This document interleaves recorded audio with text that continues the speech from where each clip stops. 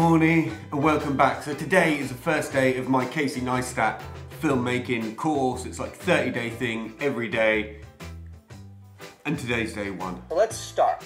Let's So I don't really know what to expect from this. I'm basically gonna end up making two movies out of this and he's gonna talk you through how he does it, getting ideas and just telling a better story. Obviously I do the daily vlog so I produce kind of a video, well, most days. Better, more kind of compelling videos for you guys and for me. Anyway, the main point that I wanted to tell you guys is I've just logged on today and there's this whole peer group situation going on.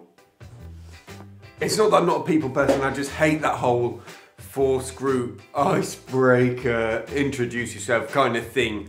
Hate it. But I'm gonna make the most of it anyway and just really get something out of this. But this is not the only thing I've got to do today. We've still got the normal Daily Dan stuff going on.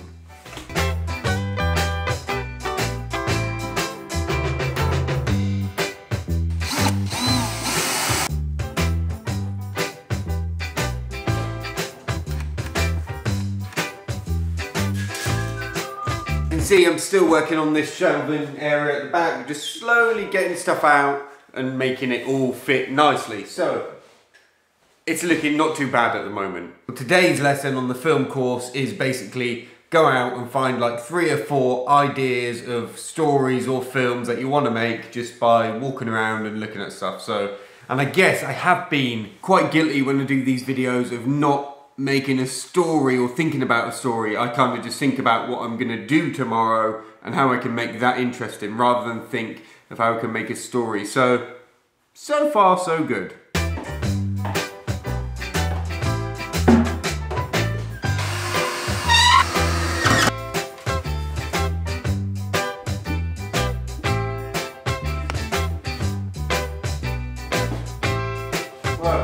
This is kind of where I'm at with the stuff that I've got already. All my TV camera stuff, bags, lights, drones, green screen, guitar, cracky mirror. And I've got a little skinny bit here which I'm going to put all my lenses in. But I think I'm going to pretty much leave this top bit open for now until I get the stuff to put in it. God, so much more to buy to fill that. Well, what can you do? Hello.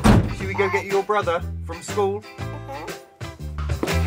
Hello. Hello.